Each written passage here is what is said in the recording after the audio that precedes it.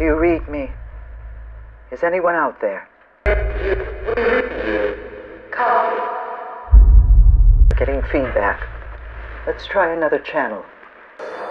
What does that Listen, mean? I don't understand what Kimberly. that means. Hello everyone and welcome to the Bitter Popcorn. Sometimes it seems to me that the world has reached such a dead end that it is no longer possible to get out of it without a global catastrophe. obsessing over unlikely catastrophes. Or is everything that happens to us already a world collapse? It's the end of the world! Gradually the understanding of a hopelessness is followed by a global depression Lisa, you're extremely depressed. And I just want to run away, escape to some other earth where everything will be like here except without any problems. I want to make another Simpson. On this topic, I remembered an amazing film in which the authors improvise on the topic of another earth. Good night, Mom.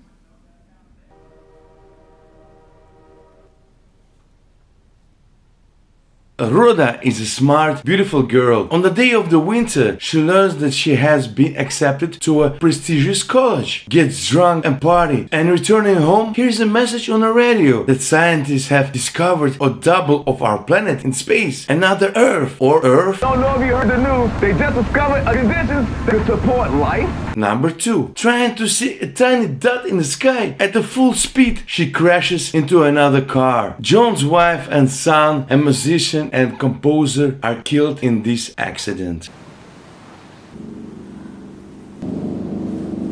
Four years later, Rhoda and John both are in severe depression, and will they be able to help each other? After all, neither the grief of one nor the remorse of the other can change what happened. The film is presented by sci-fi. Another world is never a fantasy, but a very serious scientific hy- hypothesis confirmed by experiments. maybe on planet Zuzu. In this case, a number of questions arise, the answers to which the authors to the film do not even think to give out. The two lands were absolutely identical, along with all their continents, oceans, and most interestingly, inhabitants. I the Astro Straw.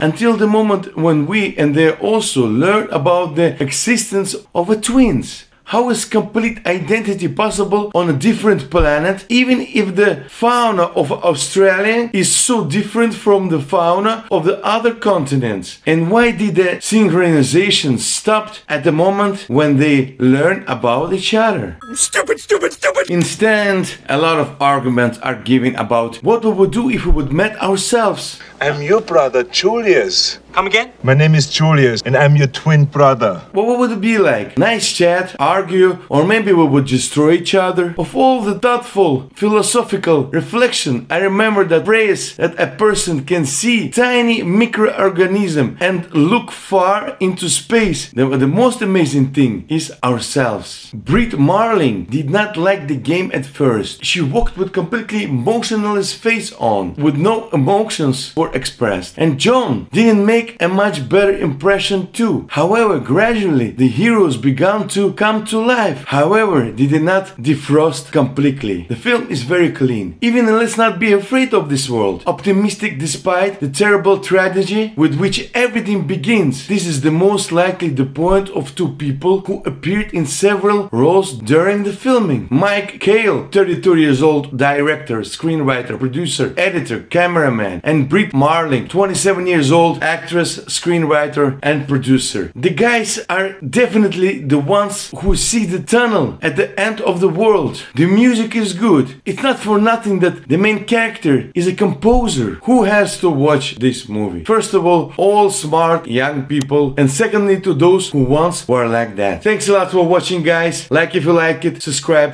and uh, don't forget to leave a comment. And see you in the next episode.